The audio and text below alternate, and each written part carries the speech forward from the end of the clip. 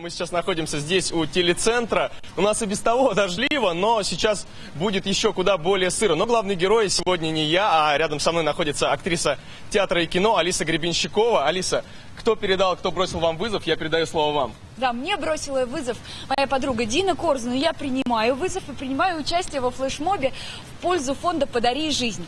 Вы и вы, Максим, и все наши зрители могут принять участие э, в пользу подопечных фонда. Это дети с онкологическими заболеваниями. Достаточно просто отправить смс-сообщение на номер 6162 и в тексте указать любую сумму пожертвования.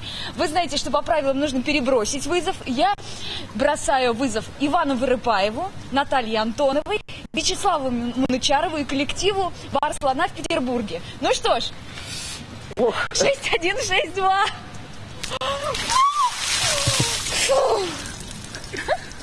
Ой, Ну, я просто посмотрел на вас, и я не могу остаться в стороне. Я передам вам сейчас микрофон, попрошу облить меня.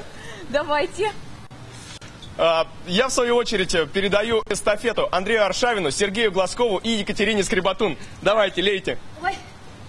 Сейчас.